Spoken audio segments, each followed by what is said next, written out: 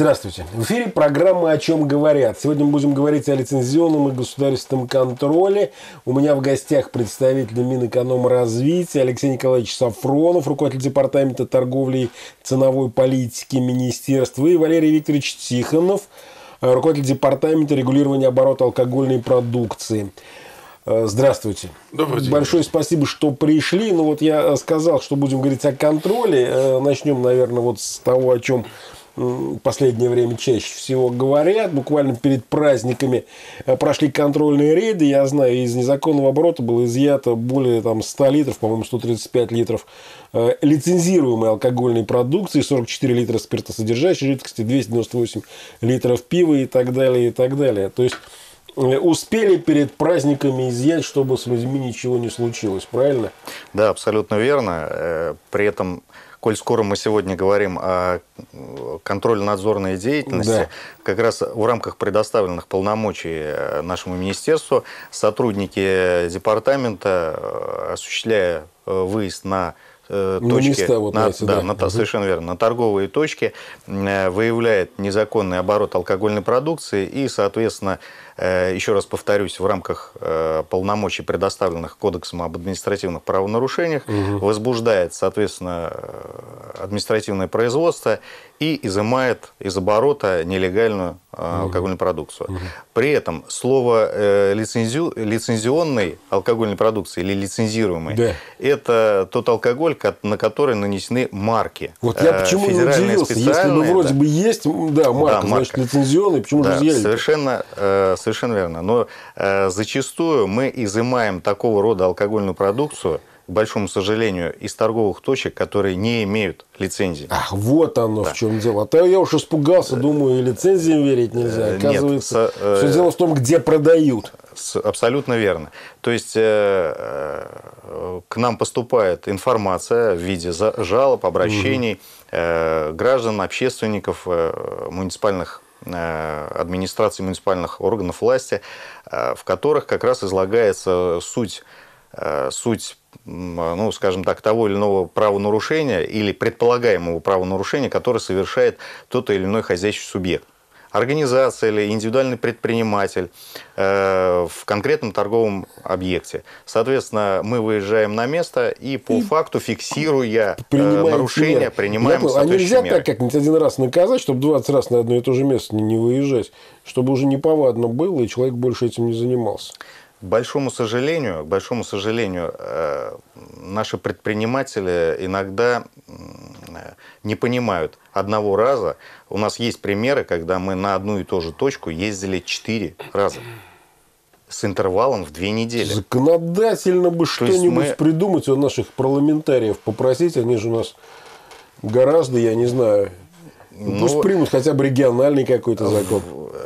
Что э, самое интересное, хочу э, сказать, что суммы штрафов, которые э, Они мы, платят. Мы, угу. ну, которые должны платить. Да. То есть, когда мы оформляем да, протоколы и, соответственно, по тем составам, которые в данном случае были, ну, правонарушения, по которым были выявлены,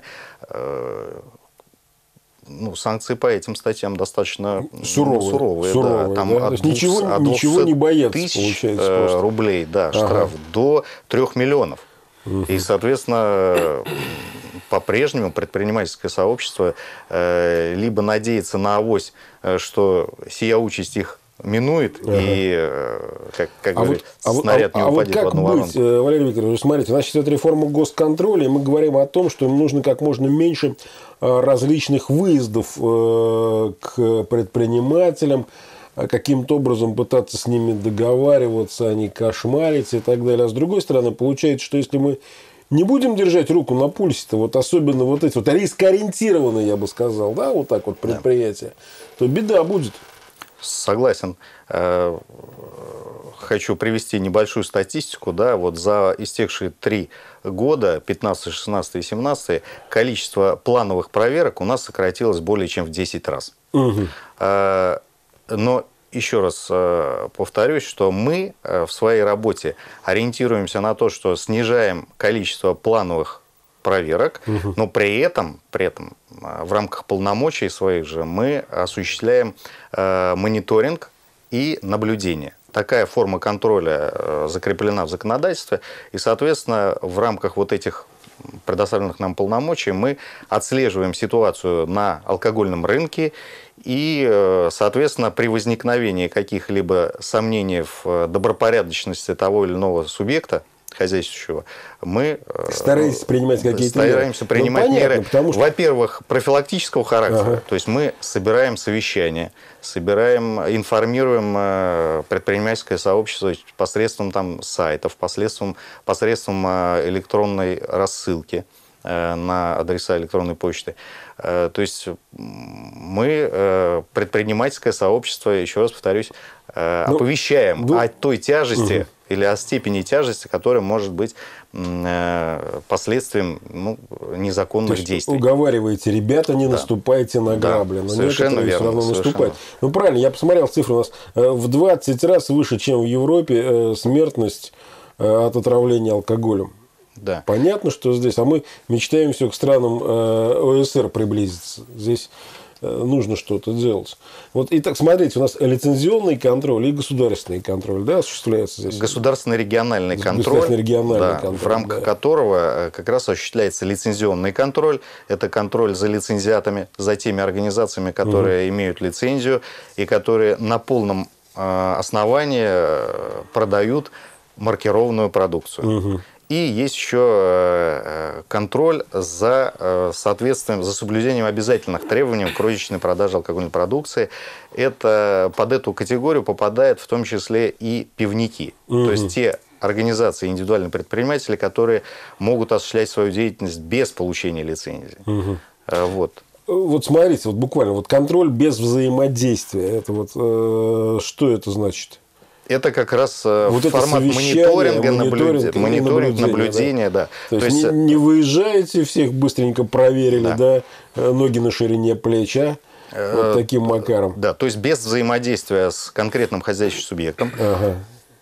Нынешняя, нынешняя система учета контроля объема, алкогольной, объема реализации алкогольной продукции, ну, в народе все уже знают, как она называется, да. система ЕГАИС. ЕГАИС, да. Вот. Она позволяет нам, как контролирующему органу, видеть э, абсолютно всю алкогольную продукцию, э, которая находится на конкретной точке э, и в формате в том, скажем так, количестве, которое может находиться угу. или находится на конкретной точке, в тех видах или форматах, которые она там находится. То есть э, буквально видим э, все, даже цену. Угу. по которой ну, она удобно, реализуется. На самом деле. Да. Конечно. И, соответственно, если мы видим, что там в запрещенное время реализуется алкогольная продукция, или же видим, что она уста... продается по неустановленной цене, то мы можем отреагировать, не, вы, не вставая с рабочего места. С места. Вообще меня всегда удивляло, вот это, наверное, российская наша авось. ЕГАИС установленный, э, при установленной системе ЕГАИС еще пытаться или умудряться что-то придумывать вот такое незаконное, понимая, что тебя в любой момент схватят за руку и понимая, что это же отслеживается все, это, это нужно быть, я не знаю, очень рискованным человеком.